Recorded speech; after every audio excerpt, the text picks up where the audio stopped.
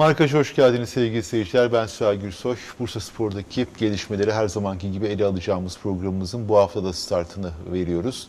Ee, bu hafta biz buradayız. Takım Afyon'da. Afyon'daki gelişmeleri e, alıyoruz. Oradaki meslektaşlarımızdan, e, dostlarımızdan e, gelişmeleri takip ediyoruz. Biz stüdyodayız ama Bursa Spor'da ne olup ne bitiyorsa da haberimiz bildiğimiz kadarıyla e, oluyor. Bunları da bugün e, bu akşam sizlerle e, paylaşacağız sevgili e, Çetin e, Sabırlı'yla.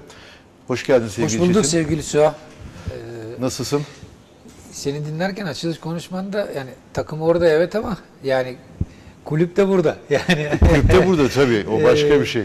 Taraftarlar da burada, camia orada. burada. Orada bir işini 40-50 yapacak kişi var. orada. 40-50 Evet. kişi var. Onun dışında her şey burada dönüyor yani. Evet evet.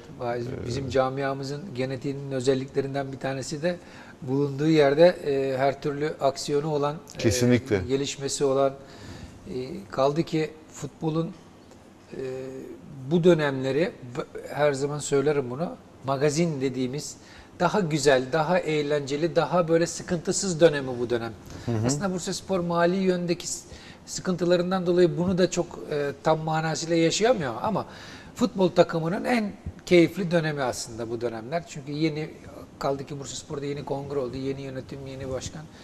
Burada e, bu dönemin e, daha böyle elektriği pozitif olan bir havada e, yaşıyor şu anda. Ben de görüyorum. Gerçi biraz sonra konuşacaklarımız içerisinde bunların birçoğu yer alacak. Ama tabii keyifli bir dönem aslında futbol için. E, bunu da Bursaspor şu anda e, hazırlık dönemiyle geçiriyor. Evet, e, aslında bizim meslekte en sevdiğimiz dönemdir. Dönem evet. Yani bir kamp, iki e, transfer dönemleri, haber atlatmalar, haber yapmalar, Özel haberler. özel haberler, transfer isimleri, yazdığın transfer haberinin kulüp tarafından yalanlanması, vay Evet. efendim benim haberimi niye yalanlıyorsun diye bizim tepki göstermemiz bunları Ya da özledik. niye yazdınız? Ya da niye yazdın? kaçırdınız? O zaten en o o, o, e, o da yönetimlerin en büyük yalanıdır. Bak net söylüyorum. Siz yazdınız adam kaçtı. Ar- Arkadaş parasını öde, getir adamı bu kadar basit yani. Nasıl biz yazdık? Yani onu mu bekliyor adam? Bizim yazmamızı mı bekliyor kaçmak için? E zamanında ben koşu bandından kaçanı da gördüm. Otel odasından kaçanı da gördüm. Gördük Sabah ya. sağlık kontrolüne bekliyorlardı. Ee, Grosicki. Grosicki. Ya Adam otelden kaçtı. E, teknik paylaştı. direktör ya kulüp başkanı beni aradı şu teknik direktörle anlaştık diye. Bir saat sonra teknik direktör anlaştı, aradı beni ya ben anlaşmadım kimseyle diye. Böyle bir olaydır yani transfer dönemi. Onun için gazeteci yazdı Güzel ve... magazin dediğim şey de aslında bunları... Tabii canım ya en keyiflidir ha. Son iki senedir tahta kapalı olduğu için bunları yaşayamıyoruz ama Bir heyecan var şimdi tahtayla e, ilgili. hafiften bir heyecan var. İstersen tahtayla girelim konuya.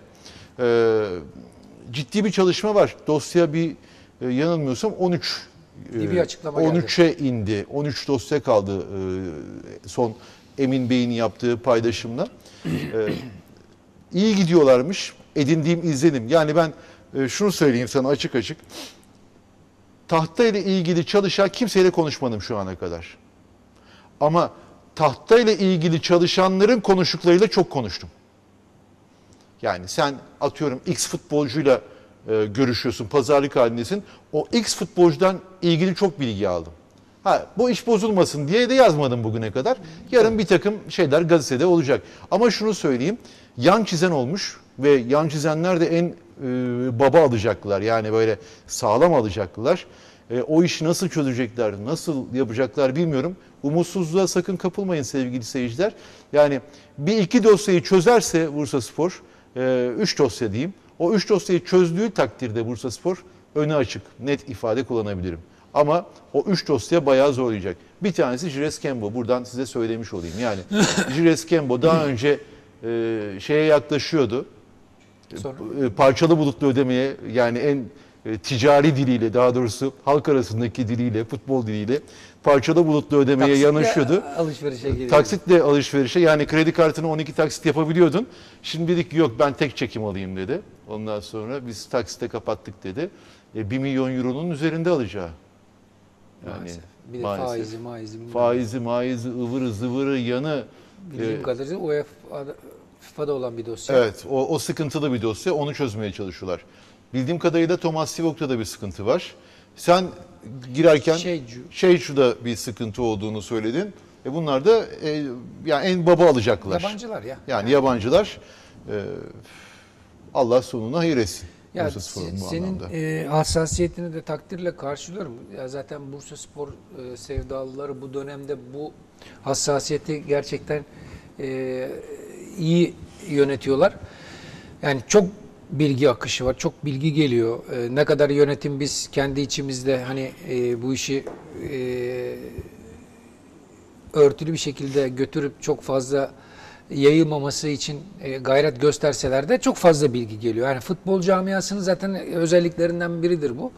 Öyle bir odada iki kişiyle konuşsanız bile bunun e, sizden önce diğer yöneticilerin haberi olmadan medyanın, menajerlerin, futbol adamlarının haberi olduğunu çok gördük. Bundan sonra da görmeye devam edeceğiz.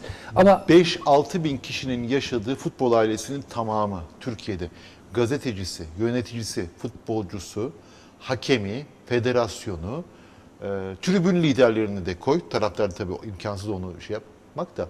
Tribün liderlerini de koy. 6 bin kişi vardır ya yoktur. Bütün Türkiye'deki futbol ailesini. burada çok fazla gizli bir şey kalmaz. kadar. Kalmamış zaten. Yani Şimdiye bu kadar ben hani şu Bu kadar söyleyeyim yani. 30 yıl önce olan bir şeyin şimdi çıktığını hiç görmedim veya 20 yıl önce olan bir şey. Çünkü o anda bilemedim bir saat iki saat gizleyebilirsiniz. Ondan sonrasında herkesin haberi olur. Yani onun için şu andaki yöneticilerin de bir hassasiyeti var. Yeni arkadaşlar var. Hani ben Saygıyla karşılıyorum. şey konusunda hani böyle aman derken e, aslında gazeteyi açtığında veya sosyal medyaya girdiğinde o gizlediği şeyi kendisi de okuyabilir. Çok Ya rahat bir şimdi şunu söyleyeyim ben size. Ee, şimdi yeni yönetim kurulundaki bazı yöneticiler, ben birçoğunu tanımıyorum zaten. Ee, birkaç kişi haricindeki hayatımda da görmedim. Yani bilmiyorum yolda görsem de tanımam. Cidden belki benim eksiğim, belki kulübün eksikliği burada. Ee, herhangi bir organizasyon düzenlenmedi şu ana kadar. Yani bir tanışma vesaire gibi bir durum olmadı. Ee, işte bazen bir haberi yazıyoruz. Kulüpten haber geliyor hemen. Vay efendim işte Süha bunu kimden aldı? Da Süha bunu almak için 1996'dan beri bu takımın peşinde. Süha e, alsın yani Süha. Alır. Yani siz bir aydır Özce'nin içerisindesiniz de yani biz 1996'dan beri yani 25 yıldır ben bu takımın peşinde gittim geldim yani. Mutlaka tabii o, o Yani yani biraz yeni, da- yeni olmalarından dolayı ama e, genel çerçeveyi çiziyorum zaten. Hani sizin gizli yürüttüğünüz bir şeyin de çok fazla gizli kalma süresi kısıtlı. Ya da Yani. bir tribün lideri. Aynen. Bir tribün, ya bunu işte tribün lideri nasıl haberi olur? Ya arkadaş nasıl olmasın ya? Adamın hayatı bu yani. Adamın hayatı bu.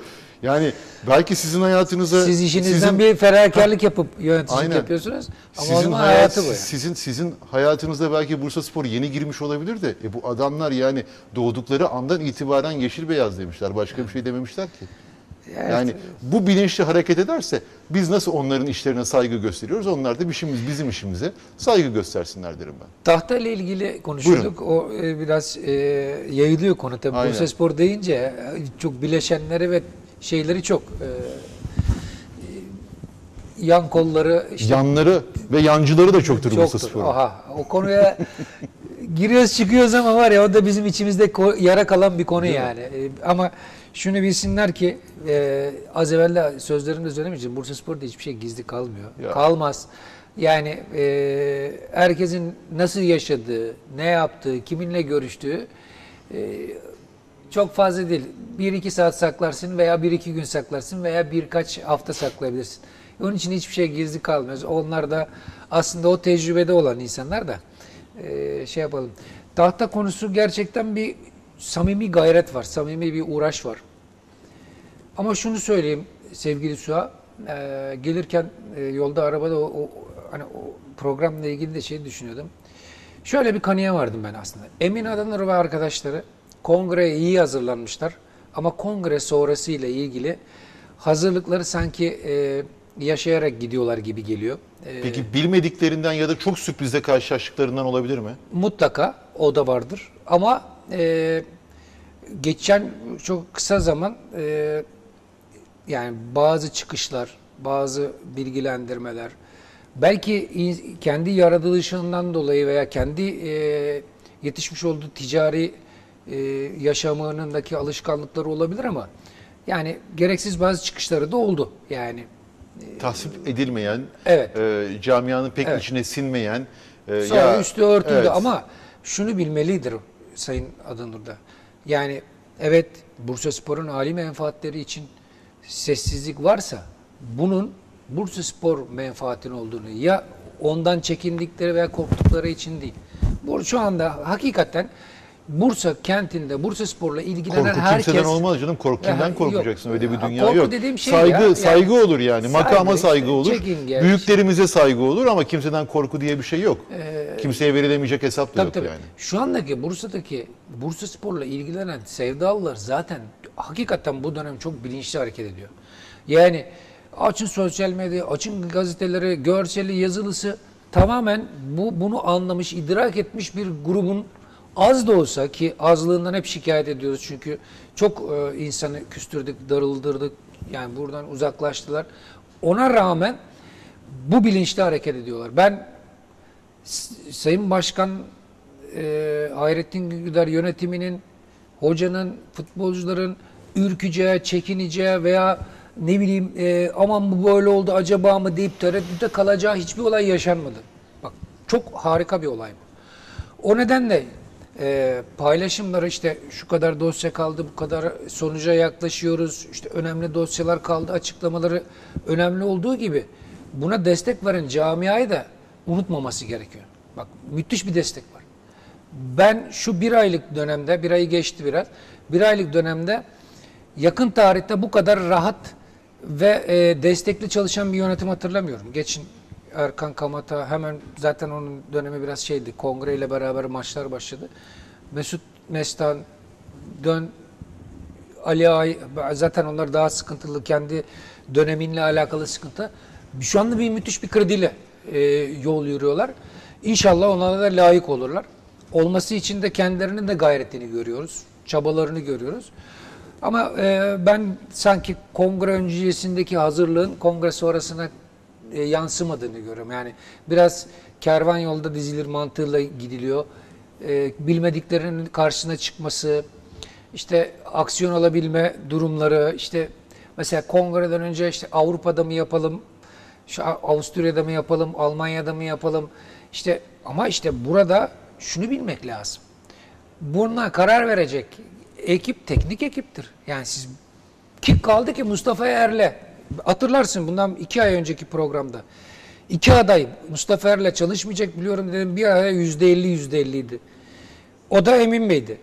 Emin Bey de kongre öncesi bunu salondan önce şey yaptı zaten. Anlaştım dedi zaten. Yani biz görüştük anlaştık dedi. Ki kaldı ki sadece imzaya kaldılar. Buradan gittiler imza attılar.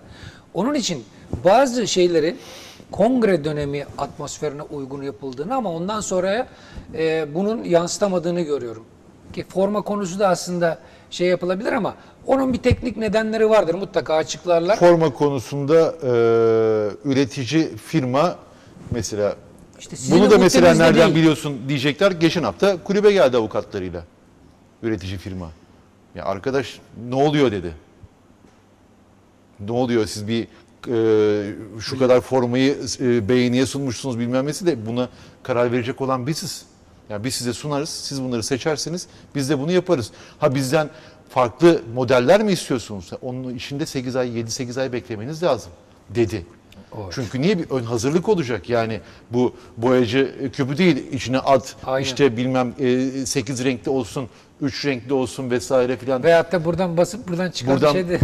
olacak bir şey değil. Zaten zannediyorum Ağustos'un ilk haftasında herhalde formalarımız çıkacak. O konuda bir bilgim Yani yok. Ben ha, de- bunu da bana şimdi diyecekler nereden aldın Süha diye. E, yani hayat Özlüce'den ibaret değil. Hayat İstanbul'da var. Hayatın bir parçası. Bursa sanayisi var. Ne bileyim Ankara'sı var bu işin. E, mesela başka bir şey söyleyeyim. Gene tahtaya geleceğim.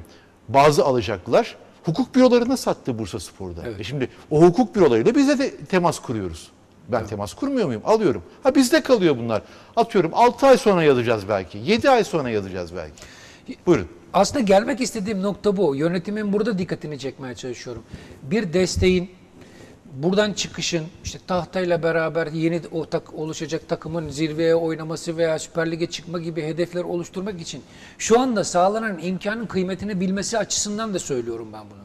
Yani hayat böyle gitmez. Çünkü e, tekrar ediyorum en rahat dönemlerini yaşıyorlar. En kredisini kullanılabileceği dönemi yaşıyorlar. Yani e, aslında onları da biraz bilinçlendirmek adına da söylüyorum. Çünkü e, Bursaspor böyle e, her zaman söylerim aksiyonu bol olan bir kulüp. Evet. Büyük bir kulüp yani öyle yani biz 3 kişi 5 kişi otururuz biz orada karar alırız kimse de haberi olmaz falan düşünmeyin. Şu şu dönemde siz ne kadar rahat çalışıyorsanız da bu dönemde medyasının, tar- tribüncüsünün, camiayı seveni, takip edenin hepsinin kayıt aldığı dönem. Aynen. Bunlar hepsi yarın öbür gün iyiler de çıkar, kötüler de çıkar. Onu da söyleyeyim yani. Evet. Ee, o, o şeyle çalışsınlar ki kaldı ki mesela Beytullah kardeşimiz gibi tecrübeli bir ismi de yanlarına aldılar. Bence Bunlar- bir şey söyleyeyim mi? Yapılan en önemli hamlelerden biri de Evet, o. evet, ben de Bak o- net söylüyorum. sö- söylemiştim. Yani Beytullah gerçi benim bir attığım e, tweet'i yanlış anlamış. Hemen o sabah telefon açtım. Dedim aman üzülürüm kusura bakma sen konuyla hiç aklıma bile gelmedin dedim. Ondan sonra e, ama şunu söyleyeyim sadece Beytullah üzerinde değil de genel anlamda bir kesim var. Ee, inanılmaz dedikoduyu seven bir kesim bu. Yani Bursa Spor. Ya işte sen onunla ilgili böyle konuşmuşsun. Sen bunun. Ya Evet. arkadaş konuşmadık. Mesela ben Beytullah'a bir soru sordum. Farklı farklı yerlere çekildi. Farklı farklı yerlere çekildi. O ikimizin arasında ama. Evet, evet. Üçüncü bir kişiyi ilgilendirecek bir konuda değil. Evet. Telefon açtım sordum. Bir konuyla ilgili kendisine merak ettim ondan sonra. Ama insanların kafalarında ya bırakın arkadaş ya bırakın ya. İşte- Bak o insanların rahat çalışmasına olanak sa- ta- e, sağlayın.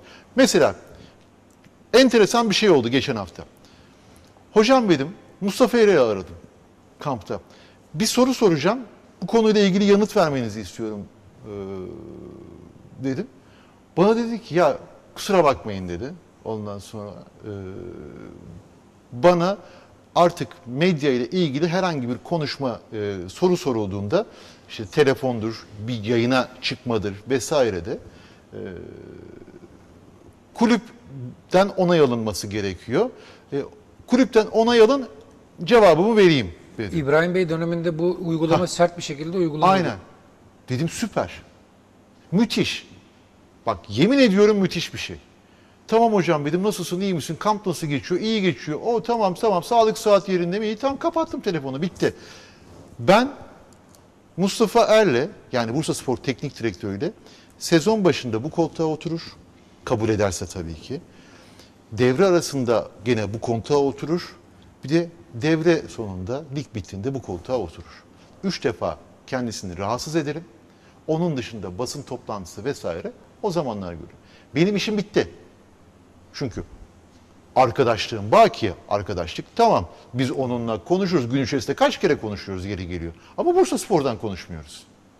Tabii. Bambaşka. Çünkü ikimizin de farklı hayatları var. E ikimizin de 20-25 yıllık bir dostluğu var. Tabii. Bu gayet normal O, farklı o da konulardan yaptığı, da konu var. yaptığı işe e, odaklanıyor. Sen de E yaptığın tabii işe ki bu kadar basit. Ya Ortak onun hakkında mesela bir şey görüyor. Bir televizyonda bir pozisyon görüyor maçta. E o da bana soruyor. E ben de başka bir şey soruyorum. Ya şu bizim maçta uyguladığımız taktiğe benzemiyor muydu diye soruyorum. E soruyorum. Gayet basit bir şey bu. Olması yani. da gerekiyor. E olması da gerek yani. Biz robot değiliz ki. Mustafa Er de robot değil, ben de robot Hayır. değilim. Ama Düşman da değiliz. Düşman da hasım değiliz. değiliz. Öyle bir şey olur mu? Dostuz.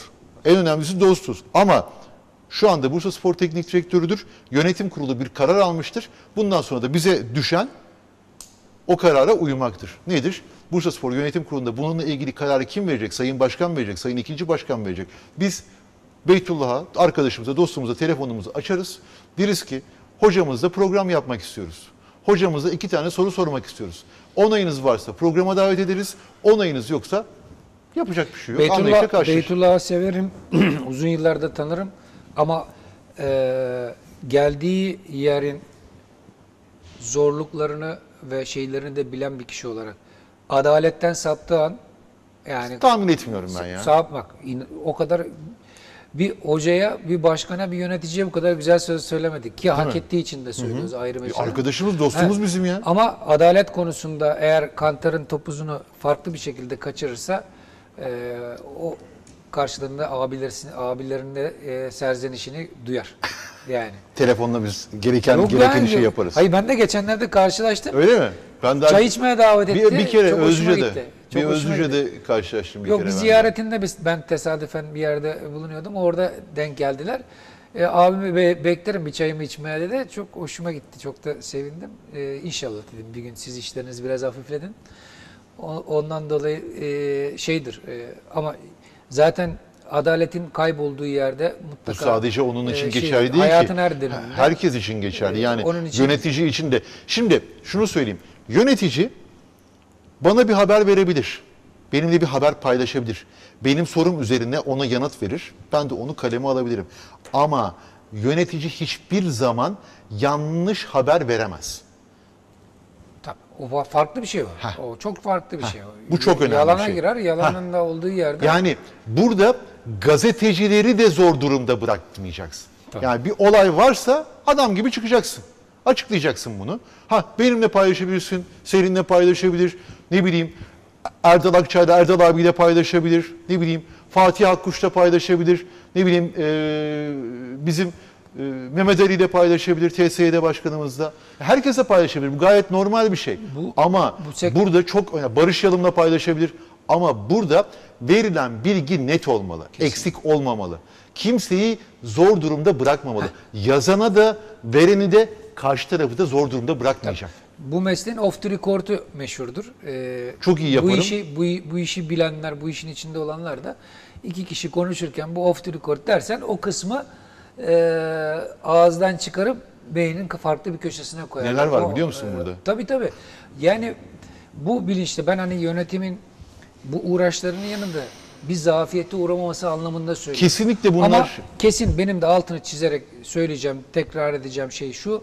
Kongreye iyi hazırlanmış ama kongreye göreve geldikten sonra kongre sonrasındaki dönemde bocalama var. Bunu çok fazla dillendirmiyorum. Çünkü hakikaten çok daha hassas günlere geldiler. Ee, ki kaldı ki bize söylenene göre bir hafta 10 gün sonra da tahtanın açılma durumu var. Evet. Yani burada şimdi moral bozmak da istemiyoruz ki onlara destek vermekle yükümlü Yok canım, ağzımızda sö- yo yo ben kendim için söylüyorum. Ee, hep söyleyen birisiyim. Ya destek zamanı destek, eleştiri zamanı eleştiri. Bunu zaten zamanı ya e, yabancı dilde söylüyor. Timingini iyi ayarladığınız zaman tadından yenmez. Zaten o zaman başarı, güzellik ve hedefe ulaşma burada e, ortaya çıkacaktır. Bu, bu bunlar zamanında ve yerli yerinde kullanıldığı zaman. Şu anda destek ihtiyaçları var. Desteği de alıyorlar. Bunu da iyi kullanmaları için kime ne gerekiyorsa yardım istesinler. Veren mutlaka verecektir. Bursa Spor sevdalıları bunu verecektir ama bunu da hani ben hata yaptım bunu da görmüyorlar. İşte böyle devam edelim türünden bir şekilde yol yürümeye çalışırsalar o zaman çünkü artık e, şey de yok. Tekrar deneyeceğimiz bir şey de yok. E, bu gayretlerine saygı duyuyorum, destekliyorum. İnşallah amaçlarına ulaşırlar diyorum ama yine e, temin söylediğim gibi kongre öncesi ve kongre sonrası ile ilgili durumun yanında ben şöyle bir şey de hissediyorum sevgili Suha. Sanki Sayın Adanur'u direkt başkan olmadığı için bir, bir sıkıntı yaşıyor. Yani bu Hayrettin Gülgüler başkanlığında işte ekip lideri bu li- literatürümüze de böyle alışamadığımız bir şeyi mecburen e, yaşamak durumunda olduğumuz için sanki ben hani tahta açılışından sonra Ağustos'un 3. dilimi veya sonuna doğru e, Sayın Adanur'un bir kongre yapmakla ilgili düşüncesi olduğunu hissediyorum. Yani Ben pek- bildiğim bir şey. Ben öyle hissediyorum. E, ya benim de bildiğim bir şey yok ama ben öyle bir hava sezinlemedim şu ana kadar. çok fazla şeyi e, şey yapıyorum, e, zorluyorum bazı şeyleri. Evet hepsinden şey alıyorum ama ben sanki öyle bir şey olacak gibi hissediyorum. Anladım. O Bursa Spor'a şöyle söyleyeyim, e, yarar getirmez. Kesinlikle, kesinlikle. Yani Yani Şimdi bununla ilgili bir gelişme var. Daha doğrusu bir kongre ile ilgili bir e, hikaye var. Bunu istersen ikinci kısma bırakalım. Bırakalım, tamam. Oradan Konuşalım. sohbetimize devam biz edelim. şimdi- Heyecanlı kısmını evet reklamlardan sözlükleri de sonraya çek- bırakıyorum. Sözlükleri de çekek şey yapıyoruz yani bir bir yere olumsuz bir temas olmasın Yok diye. canım yok Ha. yok. Öyle bir niyetimiz yok zaten. Ama burayı e, onları da biz yaşayacağımız için, içinde olacağımız için sö- konuşmadan da edemiyoruz yani. Mutlaka, mutlaka. Sevgili seyirciler kısa bir aramız var. Ee, sonra markaca kaldığımız yerden devam edeceğiz.